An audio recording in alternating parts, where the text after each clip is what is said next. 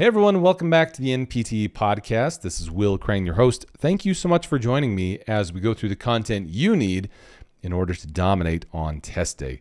So, our goal today is to go through a practice question. I've got a practice question queued up for you related to the cardiovascular and pulmonary systems.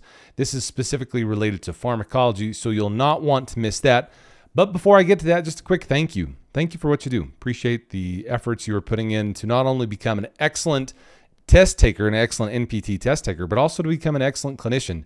It really will bless not only your life, but the lives of your patients. It's going to be something that will will be undoubtedly one of the greatest things you ever do. And it's something that, again, I thank my lucky stars every day that I get the opportunity to practice as a PT and then to help you to pass your exam so that you can practice as a PT, get on the other side of that, the big board exam, so you can be cash positive. So, anyway, super, super happy to be here with you today. Thank you again for all that you do. Uh, I did want to mention a big thank you to those of you who stopped by the booth over at CSM, the Combined Sections meeting. We always have a booth and we're always giving away free stuff. And I wanted to give you all, the podcast listeners, an opportunity to cash in on that free 99. I, I do tease students that that's the best price, right? Free 99. So to to really cash in on that free the free material that we gave away at CSM, this is a free practice exam plus we added some free study material in addition to that. So for instance, we've got a few sessions, a few recorded video sessions about the cardiovascular and pulmonary system, about the neuro system, about the muscular system. Plus, I did post pretty much all I've got about study study strategies. So when you are studying for the exam, for instance, one of the things you'll you'll see come up time and again is that the number one evidence-based way to prepare for a standardized physical standardized physical a standardized examination, whether it be a physical therapy exam or anything, a standardized exam, the very best way to prepare, number one evidence-based way is practice questions. And so that's why in this podcast we focus in on practice questions to make your preparation as effective as possible. Plus I, I've got all this free stuff that I want to give to you as podcast listeners. So the easiest way to cash in on that is to go to ptfinalexam.com slash podcast, where you'll be able to take advantage of the free practice exam, plus the free access to a, a selection of our video library that I think you'll really enjoy. So totally free, no commitment necessary. You just have to go to ptfinalexam.com slash podcast, sign up there, and you'll receive instructions on how to access all of that free material. So today I've got a practice question. This is related to the cardiovascular and pulmonary system. This is the third largest system on the exam. As per usual, I will read to you the question, give you a moment to respond, and then we'll talk about the answer together. So without further ado, let's go ahead and dive into this question. I'll read it to you, and then we'll talk about it together. During examination, a patient's chart indicates that they have been prescribed lisinopril or Prinivil which of the following primary effects is this medication most likely to elicit? So during examination, a patient's chart indicates they have been prescribed lisinopril or Prinivil. Which of the following primary effects is this medication most likely to elicit? 1. Increase in formation and excretion of urine. 2. Increase in aldosterone secretion from the adrenal cortex. 3. Inhibition of vascular smooth muscle cell contraction or four, inhibition of beta adrenergic receptors. So again, during examination, a patient's chart indicates they've been prescribed lisinopril. Which of the following primary effects is this medication most likely to elicit? Increase in formation and excretion of urine, increase in aldosterone secretion from the adrenal cortex, inhibition of vascular smooth muscle cell contraction, or four, inhibition of beta adrenergic receptors. Well, so this patient, they've got lisinopril. Lisinopril is what's considered an ACE inhibitor, an angiotensin converting enzyme inhibitor. So it's on the list of medications that reduce a patient's blood pressure. As far as the primary effect of an ACE inhibitor, such as lisinopril, this will inhibit the contraction of smooth muscle cell or vascular smooth muscle cells. So what we're talking about here is that the smooth muscle cells around the, the arterioles, arteries and arterioles, will relax such that you have a reduction in systemic vascular resistance or systemic blood pressure. So ACE inhibitors such as lisinopril work to reduce blood pressure by blocking the angiotensin converting en enzyme, that's the ACE, the angiotensin converting enzyme. that directly results in the relaxation of vascular smooth muscle cells. So we're talking about a, an inhibition of vascular smooth muscle cell contraction. So lisinopril is an ACE inhibitor. Now, the, as far as a willism here, my silly way to remember ACE inhibitors is that if you can remember the month of April, April meaning that ACE inhibitors, so ACE inhibitors, ACE inhibitors are related are typically ending they typically end in pril, P R I L. So if you can remember the month of April, you'll remember ACE inhibitors always end in pril. So lisinopril and enalapril, they typically have the suffix PRIL, and so ACE inhibitors are like lisinopril or enalapril, they end in pril. So if you remember the month of April, you'll remember that ACE inhibitors end in pril. Now, these other answer options increase in formation and excretion of urine. This is what a diuretic does. One of the most common ones we see is furosemide, which is also known as Lasix. It is a diuretic leading to the excretion, formation, and excretion of urine, reducing the overall blood volume. Uh, option two, the increase in aldosterone secretion from the, the adrenal cortex. Rather, ACE inhibitors have the opposite effect. They limit aldosterone production. Aldosterone is, think of it this way aldosterone is the hormone that, that promotes sodium resorption, it holds on to sodium. So, aldosterone and sodium retention go hand in hand.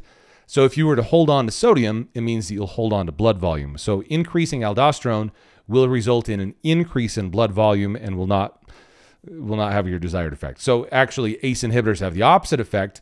They reduce or block the secretion of aldosterone, leading to, uh, I guess, in some ways, they have that indirect effect on the formation and excretion of urine. But it's through aldosterone that they get there that they limit the production of aldosterone. And by limiting the production of aldosterone, it permits urine to be created and excreted in a, in a normal fashion. So again, ACE inhibitors, their primary effect is to reduce the angiotensin converting enzyme, which relaxes the vascular smooth muscle cells. Uh, the final incorrect answer, option four, is the inhibition of beta adrenergic receptors. That's what a beta blocker does. So my silly way to remember that, beta blockers, if you're going to play basketball, you have to have an alol. And so I just think of BB, like beta blockers, basketball, alol. So it's kind of a rhyming scheme there, basketball, alol. You'll know that beta blockers typically end in alol, such as metoprolol or propanolol. These are examples of beta blockers. They do indeed result in the overall reduction in blood pressure because they block the sympathetic nervous system. However, that's not the primary primary effect of lisinopril. That's the question. The question asked, what is the primary effect of lisinopril? Well, it's going to reduce smooth muscle cell contraction in the in the arteries and arterioles. This is through uh, blocking the angiotensin converting enzyme. So blocking that cascade that increases blood pressure. So back to the bottom line here, lisinopril is an ACE inhibitor. It is the way you remember that is the month of April, ACE inhibitor ends in pril. And then the primary effect of that is that it will limit or inhibit the vascular smooth muscle cell contractions. So that's what lisinopril does. Excellent. So as we come to a conclusion, I just wanted to share something that I thought was kind of funny. So when I was at CSM, I talked to a lot of students. It was super fun. We we talked to well over a thousand students that stopped by. I hope you'll stop by if you ever attend the combined sections meeting. So this one was in Houston. Next year it'll be in in um, Anaheim. So if you're going to make a trip to CSM, you may as well come and visit us there. We usually have freebies and giveaways there. Again, you all can take advantage of the freebie we gave away this year by going to ptfinalexam.com slash podcast, Get a free practice exam and some free videos. But the the fun little story I wanted to mention is that I had I had a lot of people stop by and say they listened to the podcast, and it uh, big thank you, thank you for listening to the podcast, thank you for stopping by. I had one guy in particular he stopped by, and I he said thank you for the podcast, really appreciate that. Uh, it was super fun to talk for a moment, and then I asked if he had left a review. He said he really liked the podcast. If he'd left a, a five star review on the podcast, and he said he hadn't. And I asked what it would take to invite him to leave a five star review. And he said he would. And I asked when he was going to do that. And he said, Well, here, let me write myself a note to leave a review. And I was teasing him as he was pulling out his phone to, to write the note to remind him to leave a review. I said, you know that it's going to take less time to just leave the review than to write yourself a note to leave a review. And sure enough, you pulled up Spotify and it's just the little three dots right next to the podcast. It says rate this rate this podcast or putting clicking your stars. and You just instantly click in five stars. You don't have to write anything. It's just one little quick tap, or I guess two little quick taps, and you're done. So that's my invitation to you all who are listening to this podcast right now. If you haven't yet, it really just takes one second. And like I teased this guy about, it, it will take longer to write yourself a note to leave a review than to just tap the little three three dots or additional menu option and tap the five stars. It really just takes takes one second to do. But it makes a huge difference. As we're trying to get the podcast out, as we're trying to help students cross the finish line with the NPT, it really makes a huge difference so that we can not only help you, but also help others along the way. If you're listening to this podcast on YouTube, it only takes just a moment to, to leave us a, a quick thumbs up or subscribe to the channel over there. Piece of cake. Again, these are really, really small things you can do that will not only affect and help us to, to give you the new information and new offers when they come, but also helps other students to find these free resources, which, again, think about that. That there are some students who just don't have a ton of resource or they're looking for a little extra help to pass the exam. That quite literally, you will be helping future generations of PTs across the finish line just by taking that one second to leave us a review. So I would really appreciate it. And yeah, I, I will thank you in advance. I get sometimes students who will send me an email and they, they'll put TIA in their, in their signature line. Thanks in advance. So I'll give you all that right here. Thanks in advance. Plus, I did also want to mention that we've got some more freebies that'll be coming your way. Again, this is the, the great student pricing, right? Free 99. So other freebies that'll be coming your direction. The only way to catch hold of these is go to ptfinalexam.com slash podcast. So sign up for our, our podcast newsletter. And the cool part here is that we've teamed up with Summit Professional Education as a continuing education provider, and we'll be offering some free continuing ed post-exam as well. And that's something I've I, I've harped on a lot throughout this podcast. Is I not only want to get you across the finish line, but I also want to make you make you I want to help you become an excellent clinician as well. So that involves not only your passing of the NPT, but also becoming a lifelong learner, lifelong learner. So for instance, like when I got my orthopedic certification specialty a few years ago, I felt like that was a, a huge boost in not only my clinical practice, but also my uh, we'll just call it my sharpness. I was trying to stay sharp on some of the current material, try to give my patients the very best uh, outcomes possible. And so that's why it's important to become a lifelong learner. And that's why we've teamed up with Summit Professional Education as a as a continuing education provider. I think you'll really like it. We've got some freebies we'll be giving away over there. So again, uh, that's the great student pricing, right? Is to have everything be free. So we've got some free stuff. We'll be sending your direction there. The only way to access that is to go to ptfinalexam.com slash podcast. Make sure you've signed up there.